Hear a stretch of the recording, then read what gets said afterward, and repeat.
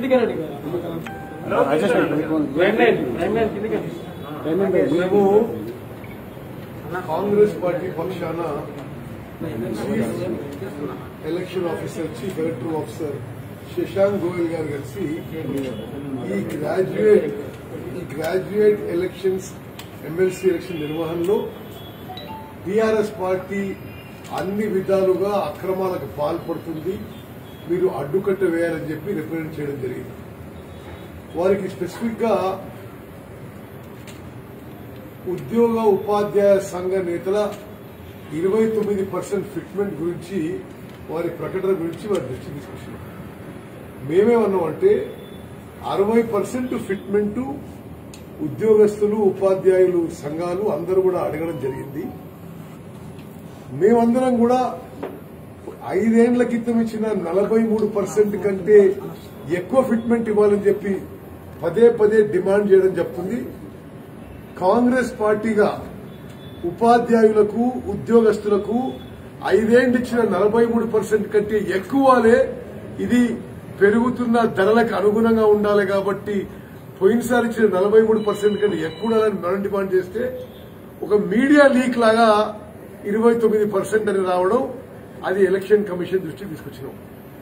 మేము ఉద్యోగస్తులకి ఉపాధ్యాయులకి ఏం అప్పీల్ చేస్తున్నామంటే ఎలక్షన్ కమిషన్ నుంచి ఓటమి భయంతో ఇరవై తొమ్మిది పర్సెంట్ లీక్ ఇచ్చిండ్రు. ఓడగొడితే నలభై మూడు పర్సెంట్ కంటే ఎక్కువ వస్తారనే విషయం ఎక్కువ ఇస్తారనే విషయం. దయచేసి గమనించాలని చెప్పి తెలంగాణలో గ్రాడ్యుయేట్ ఎమ్మెల్సీలో ఉన్న ఓటర్లలో ఉద్యోగస్తులకు ఉపాధ్యాయులకి అప్పీల్ చేస్తున్నాం.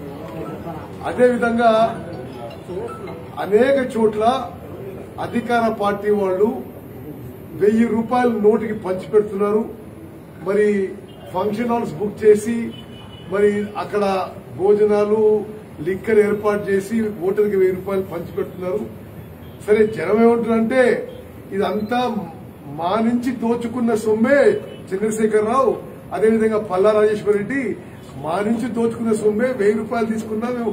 కాంగ్రెస్ కే ఓటేస్తూ అంటున్నారు మేము దాని సందర్భంగా అటువంటి కార్యక్రమాలు ఆపేయాలని చెప్పి మన ఈ డబ్బుల పంపిణీ ఈ మద్యం విషయం ఆపేయాలని చెప్పి ఎలక్షన్ కమిషన్ జరిగింది.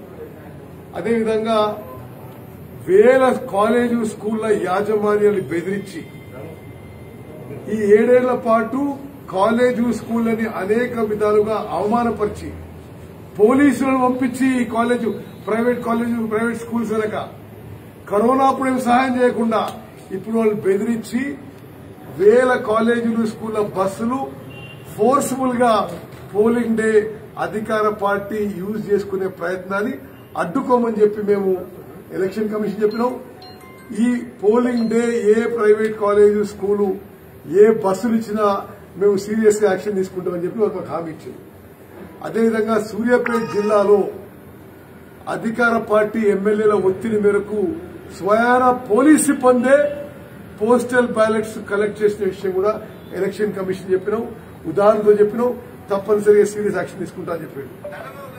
ఫేక్ ఓట్స్ విషయంలో కూడా అధికార పార్టీ వాళ్ళు డిగ్రీ లేని వాళ్ళు డిగ్రీ లేని వాళ్ళు తప్పుడు అడ్రస్ ఇచ్చిన వాళ్ళు మరి వేల సంఖ్యలో ఫేక్ ఓట్లు ఉన్నాయి వాళ్ళని రేపు ఓటుకి మరి అలౌ చేయొద్దని చెప్పి మేము ఎలక్షన్ కమిషన్ చెప్పినాం.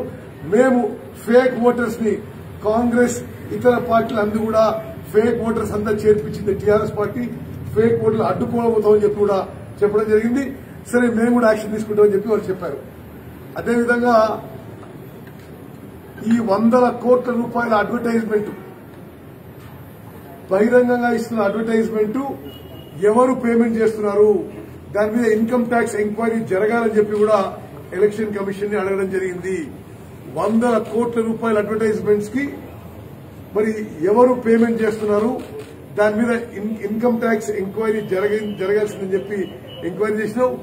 చివరిగా మరి పివి నరసింహారావు గారు బతికున్నప్పుడు అతి దారుణంగా అతన్ని తిట్టిన కల్వకుంట్ల చంద్రశేఖరరావు బూతు మాటలు మాట్లాడిన కల్వకుంట్ల చంద్రశేఖరరావు ఈరోజు పివి నరసింహారావు బొమ్మ పెట్టి ఓటెడుతుంటే ఎంత బలహీన పడిపోయిందో ఒకసారి సమాజం ఆలోచిస్తుంది.